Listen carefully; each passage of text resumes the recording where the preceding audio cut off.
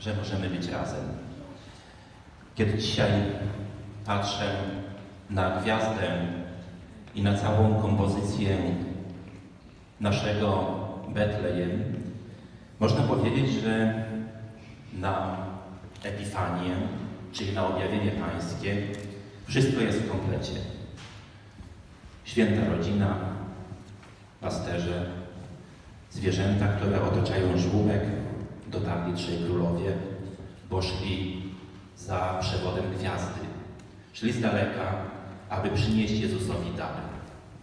Kiedy my włączymy się każdego roku w święta Bożego Narodzenia i w czas objawienia Pańskiego z koncertem podobnym temu, który ma miejsce w tej chwili w naszej świątyni, muszę powiedzieć, że śpiew polskiej kolendy, muzyka bożonarodzeniowa łączy pokolenia.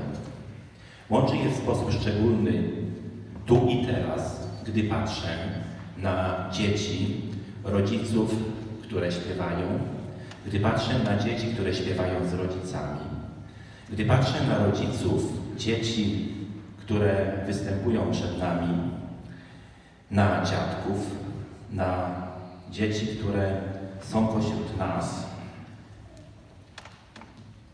dostrzegam szczególną moc łączności i jedności.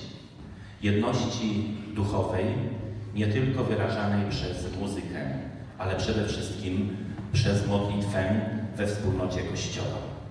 Za tych, którzy z nami są i za tych, których nie ma z nami i za tych, których nie ma pośród nas.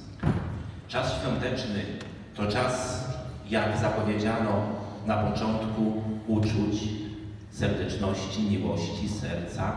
Czas, który pozwala wycisnąć łzę z oka, ale przede wszystkim podzielić się uczuciem, szczególnym uczuciem serdeczności, którą żywimy do siebie nawzajem, która dzisiaj tu, w tej świątyni i tego wieczora staje się naszym udziałem.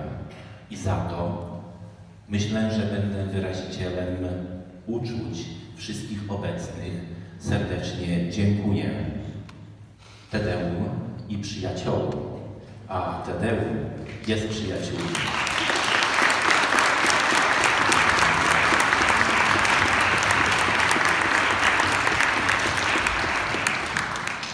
Do śpiewu potrzebna jest muzyka i tę muzykę dzisiaj stworzyli na koncert pan Adam, Krzysztof, pan Robert, pan Wojtek.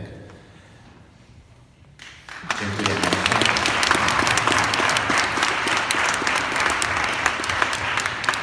Śpiew był wspaniały. Przedstawicielem rodu męskiego w grupie śpiewających byli wszyscy panowie, a ród żeński to, jak powiedziałem, to pokoleniowość już.